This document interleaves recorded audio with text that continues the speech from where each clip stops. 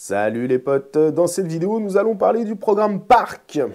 Le programme Parc est un programme fait pour faire des zones de loisirs, des plages de sable sec, bref, des endroits où il y a beaucoup d'occupation humaine. Pourquoi euh, je précise beaucoup d'occupation humaine bah, Parce qu'on va retrouver des types de pollution récurrents, capsules de bière, papier d'aluminium. Ce programme est fait pour les rejeter plus facilement. Le parc utilise la technologie FMF en addition de fréquence. L'addition de fréquence, ça veut dire quoi? Ça veut dire que le détecteur va choisir une fréquence adaptée, la fréquence la plus adaptée, et puis ajouter des fréquences pour affiner son analyse ce qui vous permet d'avoir un appareil beaucoup plus précis parce que, vous savez, le monofréquence est beaucoup plus précis que le multifréquence, mais Évidemment, cela nécessite de choisir la bonne fréquence. Eh bien, le FMF choisit la bonne fréquence ou la bonne plage de fréquence et va optimiser ses réponses en fonction de sa propre analyse. Ça, ça vous fait gagner du temps et ça, ça vous fait gagner en performance sans avoir besoin de vous casser la tête.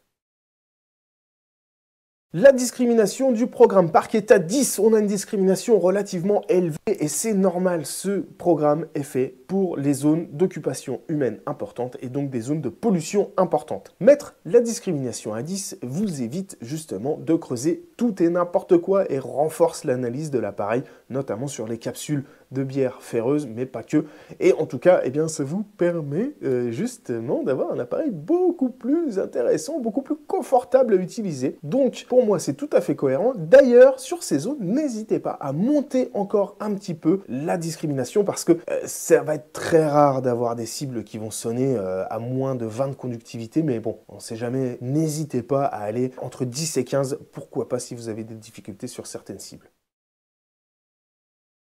Ce programme est multiton en trois tons. Vous avez euh, bah, des hauteurs de ton graves pour euh, les ferreux, médium pour les moyens conducteurs, aigus pour les hauts conducteurs. À vous d'ajuster euh, les sons en fonction de votre oreille, en fonction de ce que vous cherchez ou en fonction de votre casque. Bref, ce programme est en multiton. C'est idéal. Si vous avez vraiment des programmes sur un type de cible récurrente, eh bien, n'hésitez pas à ajouter un ton que vous pourriez dédier à cette cible en particulier, ce qui vous éviterait, encore une fois, d'être embêté ou de devoir mettre trop de ou trop de discrimination, ça vous permet de garder quand même de l'ouverture dans l'appareil et d'optimiser la performance, bien évidemment. Sur ce programme, le bicap c'est à 5 et oui, le filtre est à fond. Évidemment, on veut éviter un maximum de pollution humaine. Ce filtre bicaps vous permet justement à ce moment-là d'optimiser la reconnaissance de ces cibles indésirables. Donc, le réglage bicaps à 5 plus une grosse discrimination, normalement, vous ne devriez pas euh, creuser ni de capsules, ni de papier d'alu, ni d'autres petites cochonneries récurrentes. Mais bon, si vraiment vous êtes joueur et si vous avez envie de vous casser les oreilles, baisser ce réglage, mais moi je vous conseillerais de le laisser à 5. Le notch sur ce programme va de 25 à 36. Et alors, la plage de notch est très importante. Pourquoi? Pour rejeter, encore une fois, certaines cibles récurrentes, notamment les petits bouts d'aluminium. Et ouais, parce que sinon vous en sortez pas. Et du coup, c'est plus intéressant de rejeter une partie des cibles que de les accepter et de vous épuiser à les creuser. N'oubliez pas que ce programme est fait pour des zones d'occupation humaine importantes et donc évidemment des pollutions récurrentes, je vous l'ai dit tout à l'heure. Mais les cibles que vous pourriez trouver sur ces indices de conductivité sont tellement peu nombreuses au regard du nombre de cochonneries que vous pourriez trouver que vous allez vraiment vous épuiser et perdre un temps extraordinaire la détection, c'est aussi une question de compromis. Il vaut mieux optimiser le temps par rapport à la surface. Vous aurez plus de chances de découvrir des cibles que d'affiner des zones qui ne méritent pas d'être affinées. Donc, laissez ce notch, voire même élargissez un petit peu la plage, voire utilisez du multi-notch si vous avez encore une fois des cibles récurrentes sur d'autres indices de conductivité. Vraiment, il faut gagner du temps, faire de la surface sur ces types de terrain. C'est la clé du succès. C'est comme ça que vous allez trouver plus de cibles.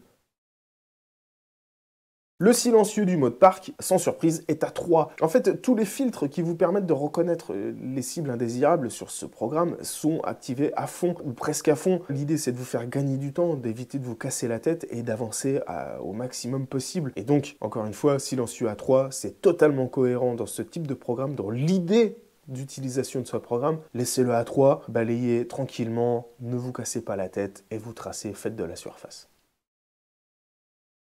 La réactivité de ce programme est à 2.5. Pourquoi elle est à 2.5 Vous me direz, puisque ce programme est euh, plutôt fermé dans les filtres euh, et fait pour avancer sans se casser la tête avec les cibles indésirables. Eh bien, justement, puisque on est sur des lieux qui sont pollués, on a besoin de réactivité. La réactivité sert à trouver les cibles proches les unes des autres, et lorsque vous avez des zones de pollution assez importantes, euh, évidemment, on a besoin d'entendre un maximum de cibles. En se mettant à 2.5, on est sur une réactivité qui permet quand même de découvrir des cibles très proches les unes des autres. Et donc, c'est assez cohérent. Vous pourriez même, si le terrain est vraiment pollué, monter un petit peu la réactivité. Vous allez perdre un tout petit peu en profondeur, certes, mais vous aurez plus de chances de trouver des cibles entre les cibles indésirables et donc potentiellement d'avoir une meilleure sortie. Donc 2.5, c'est cohérent, c'est un niveau moyen qui me paraît tout à fait indiqué sur ce type de programme. Baisser la réactivité d'ailleurs sur ce programme parc, ce serait presque une hérésie parce que vous allez peut-être augmenter le masquage. Encore une fois, si les zones sont peu polluées, ben, n'hésitez pas à la baisser un petit peu. Aller à 2, pourquoi pas, ça sera toujours euh,